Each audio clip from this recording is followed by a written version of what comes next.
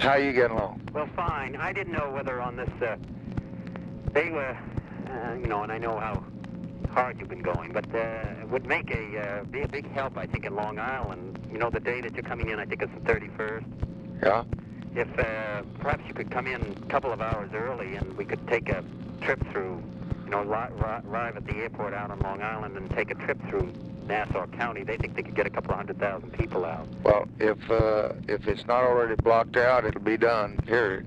Uh, Jack Valenti's not here. Wait a minute, maybe he is. Well, let me see if he is now. That's the 31st, and uh, I I speak you're that to, you're supposed to come in for the rally. You were going to come in for the whole day, and I think the day's been canceled. I, I speak that night at Madison Square Garden. Yeah, and if they could come in so that you could maybe arrive at, at one of those fields out in Long Island and then just take a motorcade in through. Say at three o'clock or four or Yeah. something. Let me ask him.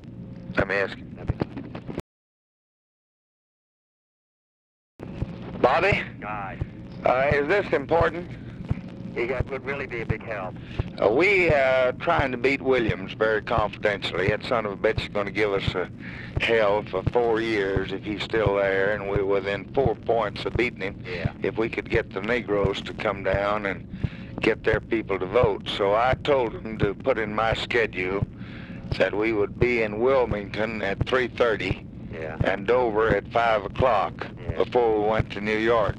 Now I've told uh, Marvin Watson, who's in charge of my schedule, Jack Valenti's gone, Yeah. that uh, if this is important, to tell them in Delaware we'll be there at noon, and we'll try to get through at 2:30 at Dover, and leave at three and get up there by 3:30 at four. Well, that'd be terrific if you could do it. Yeah, if it's that important, we'll do it. I want to beat this son of a bitch, uh, uh, Williams, and if it, well, now if I do this, you get some Negroes, you talk to Roy Wilkins and get him to send one or two of his organizers into Dover and Wilmington. They got a lot of people registered, but they say they won't vote. You know who's good? Uh, that's Charles Evers from Mississippi. Yeah.